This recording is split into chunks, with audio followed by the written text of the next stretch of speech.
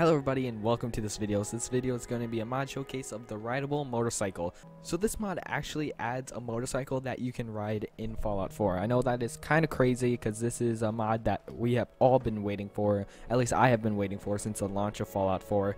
Uh, you can find this motorcycle right next to the Museum of Freedom. That's up there and uh, let's just hop right into it. So this motorcycle, all you have to do is repair and then you're ready to drive it. So once you press E on it, you repair it and then you can access the inventory or ride it. So let's just get right into the actual motorcycle riding.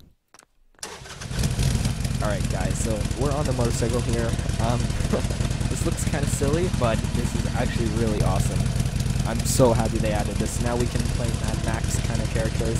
So let's drive around. So this motorcycle is very uh, shaky and vibrating, but you can expect that from a, a motorcycle that's 200 years old and driving on roads like uh, roads with these conditions. So uh, it's a bit shaky, but it's actually a really cool mod, and you get, get some cool screenshots on it. So yeah, that's basically it to this mod. So you can actually customize this motorcycle inside the workshop at your settlements in the chemistry station. You can make uh, customizations to this motorcycle. I'm not going to do this in this video just because um, I like this classic motorcycle but that is an option.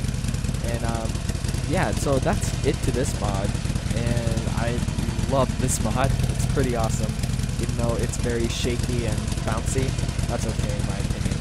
So um, I'll see you guys in the next video. Go check this out, link in the description, and I'll see you guys next time. Peace out.